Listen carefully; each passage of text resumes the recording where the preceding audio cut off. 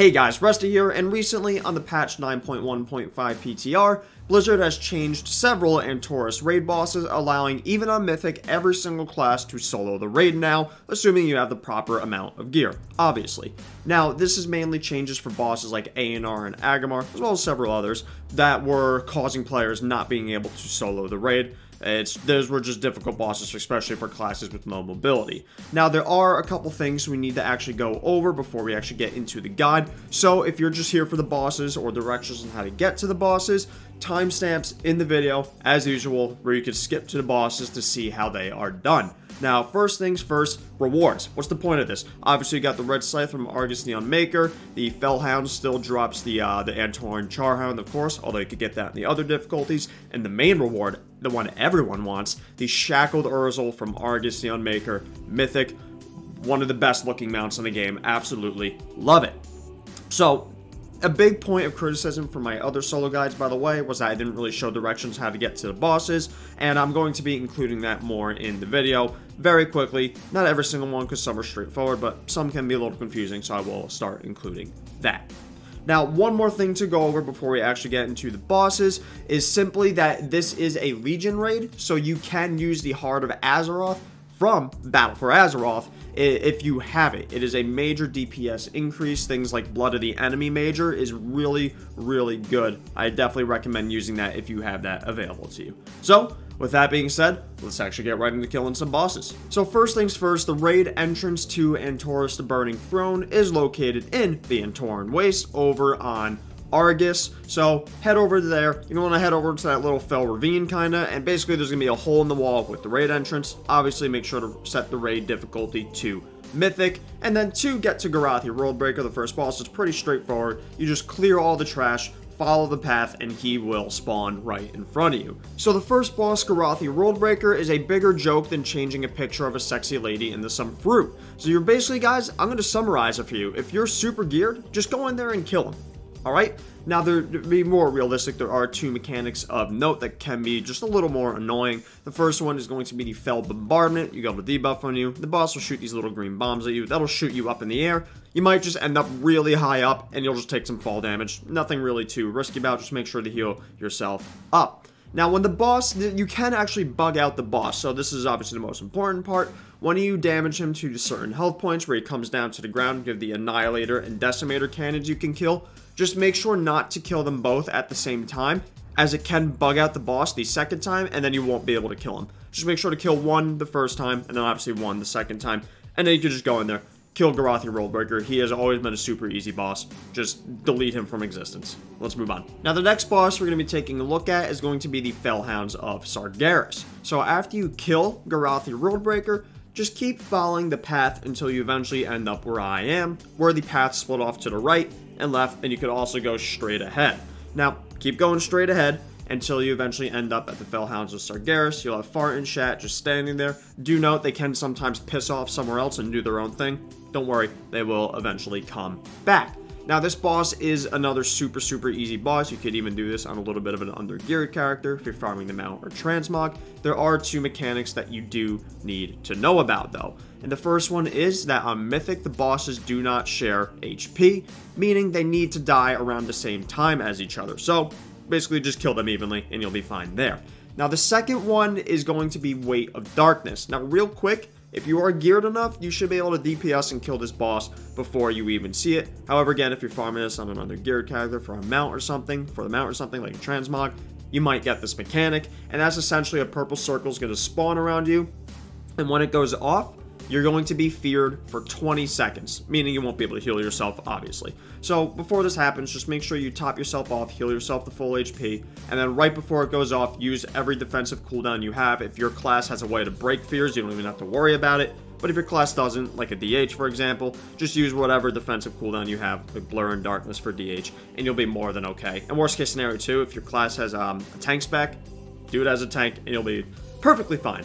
Felhounds of Sargeras done, let's move on to Antoran High Command. But first things first, how do you get to the Antoran High Command after Felhounds of Sargeras? Well, that's simple. Just head back to the area where the paths split off, and instead of going straight this time, you're going to make a right, and there's going to be two more paths. You're going to want to go the one to the left, clear the initial trash right there, and a transport, basically pad, will spawn that you could click on, and then from there, it's straightforward. Just keep following the path, a lot of paths, until you eventually get to the elevator. Fun fact about this elevator, if you stand under it, it'll friggin' crush you.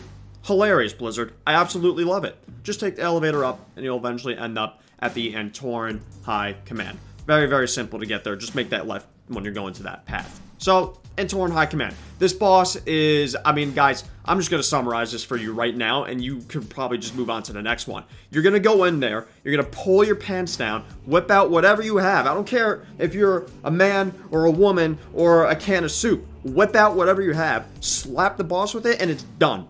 It is really that easy, guys. There's not too much to note. Just don't stand on the mines on the ground. The, the shock grenade will stun you for two seconds. Super easy. Just kill the ads if they spawn. You can cleave them down. I mean, there's really not too much to note. I, I, guess the only dangerous part is if you're doing this on an undergeared character. The tank debuff, uh, the claws, the red debuff that you get, forgot the exact name of it, but it's, it's the only debuff you get, the one that stacks up and up and up and increases your physical damage taken. If you are an undergeared character, that can kill you when it gets to super high stacks, so just use defensive cooldowns, or if you're really struggling with that, if you're that undergeared, you shouldn't even be doing this in the first place, you should be getting more gear. So this boss is real easy, just go in there and kill it. Let's move on. So the next boss we're going to look at is going to be Portal Keeper Hasabel. So just head, just backtrack until you eventually get back to where the path split. And instead of making that left to go to Antoran High Command, make a right, just clear any trash that you pull there, and there's going to be a portal there. Go ahead and click it, and then you'll end up at the room where Portal Keeper Hasabel is, and also where Eonar is to the left. Just go straight ahead, and you'll eventually get to the Portal Keeper.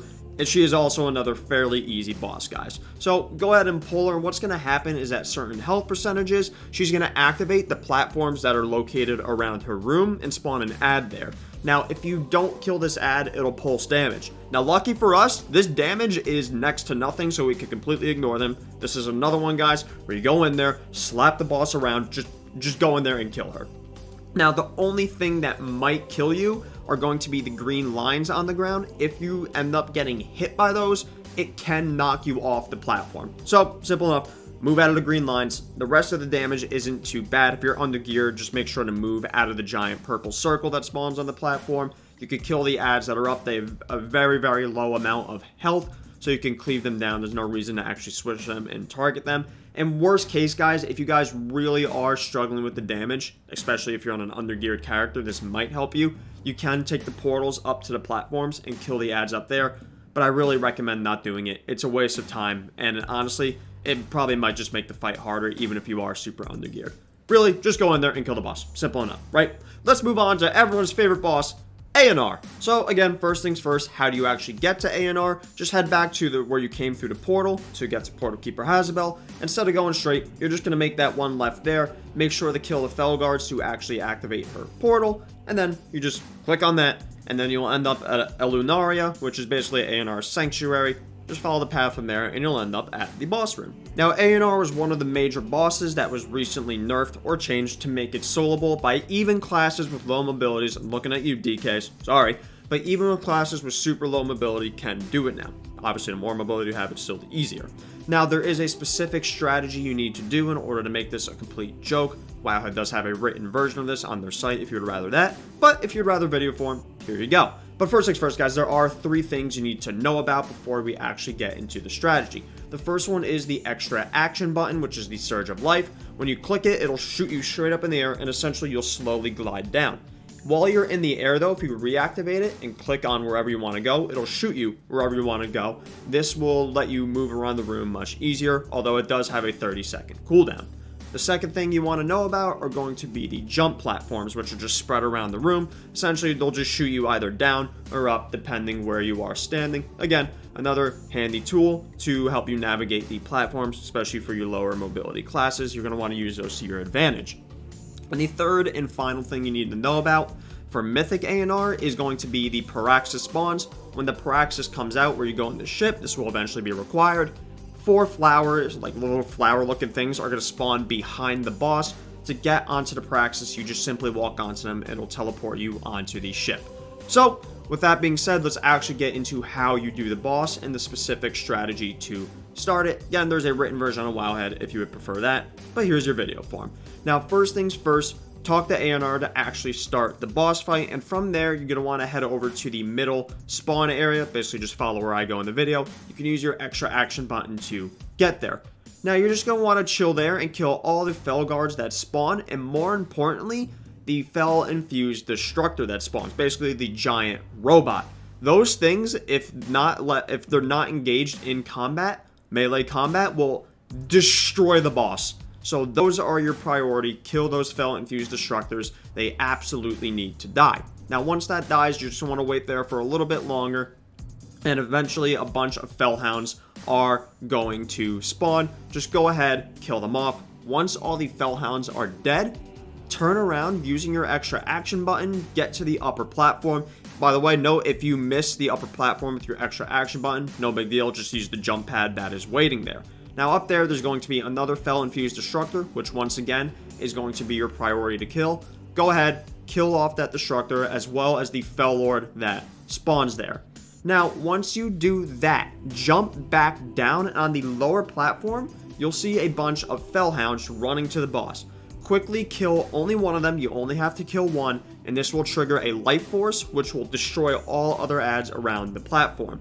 And at the same time, the Paraxis has been activated. So you need to book it over back to the boss, again, using your extra action button or the jump pads to get there, as well as your own movement speed abilities. Go to the flowers and just run on one of them, and this will teleport you up to the Paraxis. Very quickly kill the ad in the middle. Now, after you do that, there's going to be these four crystals around the room that you need to click to actually deactivate the Paraxis. Again, use your own movement speed abilities to go and click the crystals in each corner of the ship. You can even use stuff like speed potions to help you out here if you're a lower mobility class.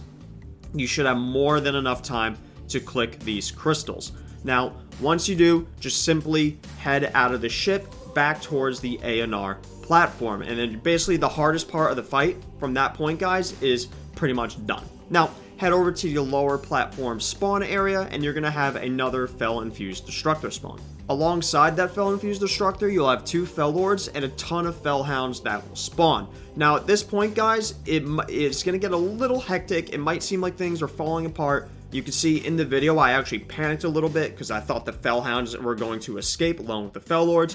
If that happens, guys, no big deal. If they reach the boss, you have plenty of time to go and kill them. Your priority is to first kill that Fel-infused Destructor. After that, kill the two Fel Lords, and then chase down the Felhounds. Worst case scenario, they reach the boss, guys. Just kill them, all of them off, especially the ones that reach the boss. You need to kill every single one to have the right amount of life force percentage to end the fight. Once you do that, head back to the lower platform spawn, and then you're just going to want to AFK there until you eventually get the final, I believe it's Fel, or not Fel Lords, but the Fel Guards that spawn. Just basically kill off anything that spawns there, and the boss will end. Congratulations, you have defeated Eonar Mythic. It just takes a little bit of practice to get used to the strategy, guys, but it's very, very easy once you've done it a few times. I did it on my first try. Again, there is footage of DKs, uh, Warlocks doing this, your, your lower mobility classes, Priests doing this every single class can do this now. The more gear you, have, gear you have, the much easier it is, obviously, because you could kill the ads much quicker, but even, like an even slightly undergeared character can do this no problem. This fight was always more about the lack of mobility than the gear issue. So, with that being said, you've completed Mythic Eonar. Let's move on to the next boss. So once you have defeated the first five bosses of the raid, the next section will open up for you guys, unless you have the raid skip. So first things first, head back to where the area splits off, or where the path split off. Instead of going straight or over to the right, you want to make that left, and just keep following the path down there, and you'll eventually come along a teleporter next to all the major NPCs.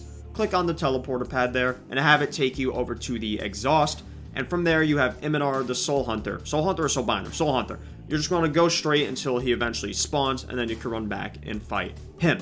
Now, Imonar is another super, super easy boss. There is kind of one mechanic that you might want to know.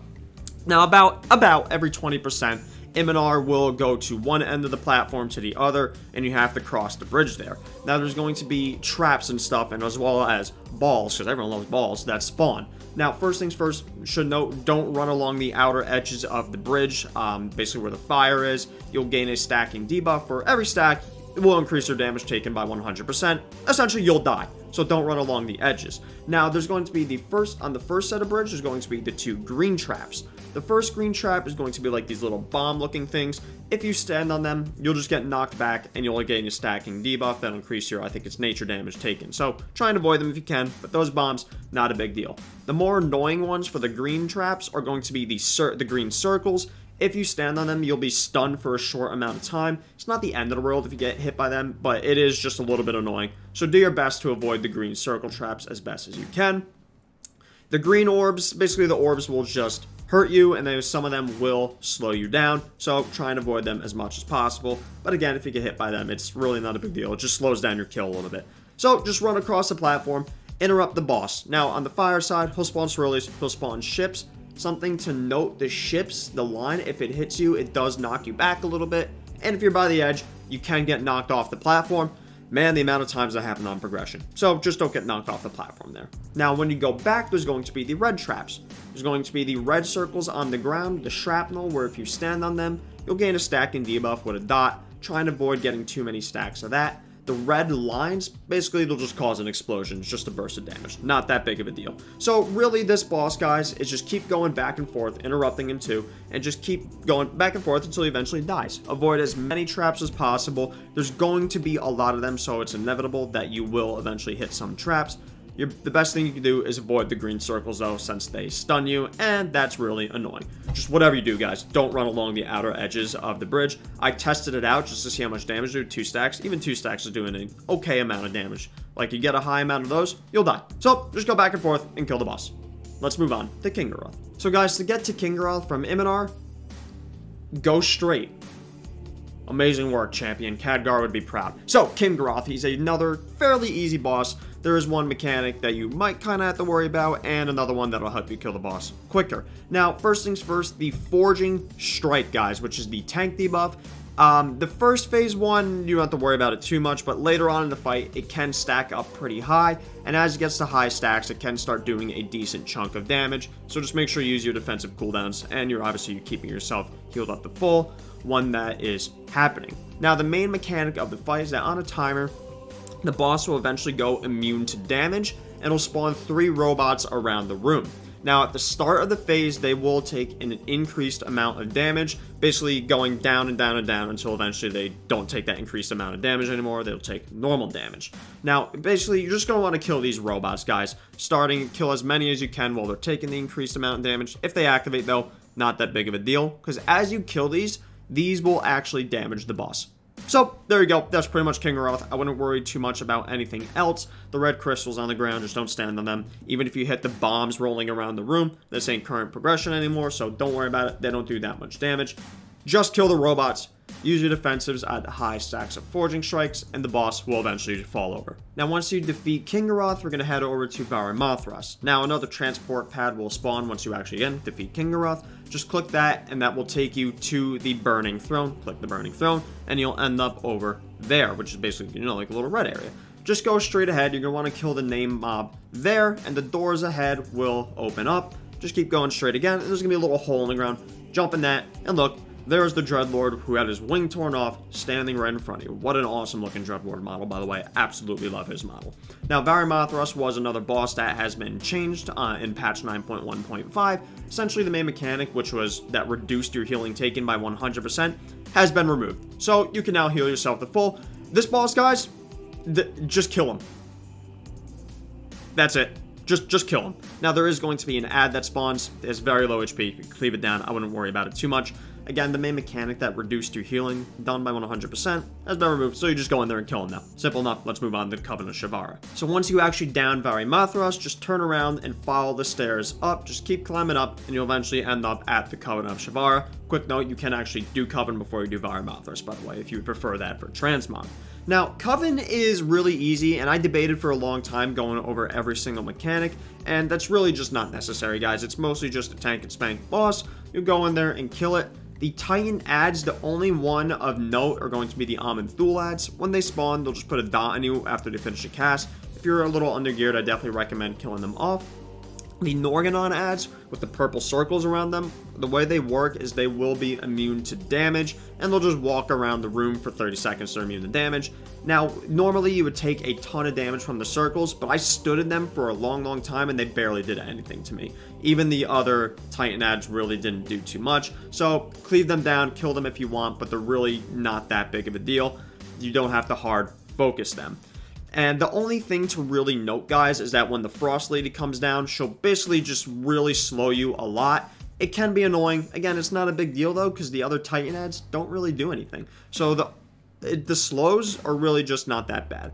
The only thing that might be a little annoying is that she will put an Absorb Shield on you that can stun you if you don't heal through it. However, the stun isn't that big of a deal. Just use the defensive before it goes off. So again, guys, this is really just another boss where you can go in there and kill them. The bosses do share HP, by the way, so you can cleave them down. The quicker you cleave them, the more damage you do, right? So the quicker the boss will go. Go in there, kill the bosses. That way we get to move on to Aggramar. So after you down the Covenant of Shivarra, to get to Aggramar, just head back up to the stairs that are there, and just keep going straight as if you were following the original path to get to Varimathras, and you'll see Aggramar just standing over by the Argus. World Soul, just chilling, looking cool. So, Aggramar has some major changes done to him in patch 9.1.5. The mainly big two big ones have to do with the Flame Rend. one being the giant knockback that would knock you off the platform. That's no longer the case. It is much shorter, so you won't go flying. Can still knock you off if you're staying by the edge, though, so don't do that. And also where the boss would super buff himself if not enough people soak the Flame Rend, which wouldn't be because you're soloing. That has been removed, so you won't flat out get one shot unless you're super undergeared, because you can still die to the Taeshalach technique. So let's go over that right now, the most important mechanic. The boss, during a Taeshalach technique, will do five things. He'll do two Foe Breakers, which is the basically the giant tank hit, two Flame Rends, which is the knockback, and also a Searing Tempest. Let's start with that. The Searing Tempest, just a giant orange circle. Just run out of it. If you stand in it, you'll get disoriented. Not ideal. Just simply run out of it. Now, the first Foe Breaker and the first Flame Rend won't do too much. Foe Breaker will do a decent chunk of damage, right? Not that much to worry about. Flame Rend, again, is just a knockback. Just make sure you don't get knocked off the edge by standing next to the edge.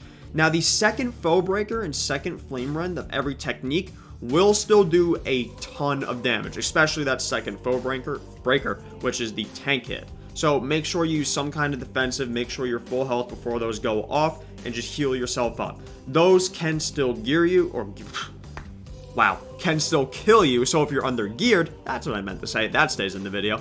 If you are still under geared, you can still get one shot by these abilities, so just make sure you use some type of defensive during, the again, the second Foe Breaker and second Flame Rend of every Taeshalach technique. Those do a ton of damage. Besides that, guys, the boss is pretty straightforward. Just don't stand on circles in the ground in the later phases. And the during the intermissions, you want to kill the two big ads. Just let the small ads run into the boss. They will do a decent chunk of damage. Just heal yourself up. Heal yourself through to that. No point in kiting or killing them. Just let them run into the boss. And just avoid the meteors on the ground, the swirlies on the ground that spawn in the intermission. As again, they can knock you off the platform. Now, the only other thing to really note is that during the third and final burn, I definitely recommend saving your DPS cooldowns for this, is that the Foe Breaker does stun you, alright? So just make sure you use a defensive when you are stunned or before you get stunned so you actually survive through it. Again, mainly that second Foe Breaker and second Flame Rend that does the most damage. Also, if you are super geared, you can actually DPS the boss quick enough where you actually skip the Taeshalach technique, which was the original strategy before it was nerfed. So, just survive the second Foe Breaker, second Flame Rend of your Taeshalach technique, and Aggramar will fall, fall over, and you can head over to Argus the Unmaker. Just talk to Magni, chilling on the platform, and he will teleport you to the seat of the Pantheon for the Argus fight. Let's go. So overall, Argus is a super, super easy fight. There are a couple things to know though. Phase 1 is a tiny DPS race, as the boss will be doing an ability called Sweeping Scythe, which puts a permanent debuff on you, essentially, permanent if you're soloing, right? Unless you have a pet class or something or another player. This will increase its damage done at every single debuff until it eventually one-shots you, so you need to push the boss to 70% HP before it one-shots you, which is very, very easy to do, by the way. Save your DPS cooldowns for the last phase, though. You're gonna want them for there, because that is a even bigger DPS race. Now, once you get him to 70% HP, oh, by the way, don't stand on the black stuff on the ground from Cone of Death, right? Simple enough, obvious. Doesn't do that much damage, though. Um, just once you push them to 70% HP, basically a storm will spawn around the room. Clear all this stuff. You also drop stacks of your sweeping scythe. Phase 2 is a complete joke because the titans around the room will super buff you. Basically increases your max HP by 100%. Nothing can kill you guys at that point. You could stand on almost anything you want. You would have to try your app. It's probably harder to die than not to die at that point. So phase 2, just DPS them down to 40%. Once you do, we'll go through a super awesome epic, probably the best transition in any boss fight ever. Really, really, really cool. Like, I love progressing this boss just to watch that intermission. So, he'll kill you. You'll be dead on the ground. Just wait for the bush to spawn out of Eonar's bush. You'll eventually be able to release your spirit. Now, the Shaw adds there, if you run into them, basically you'll get knocked up in the air and you'll get slowed. Really not ideal. Don't run into them. Just run into the tree and you will respawn. The boss will be doing a cast called End of All Things. Just make sure you interrupt it because if he gets that cast off, well, he does what he says. He ends you. You die. So just interrupt the cast and pull the boss to the edge. Now, pop all your DPS cooldowns. Use drums if your class doesn't have a lust, potions. You gotta DPS the boss because now the sweeping scythe debuff actually is permanent. So it will eventually just kill you.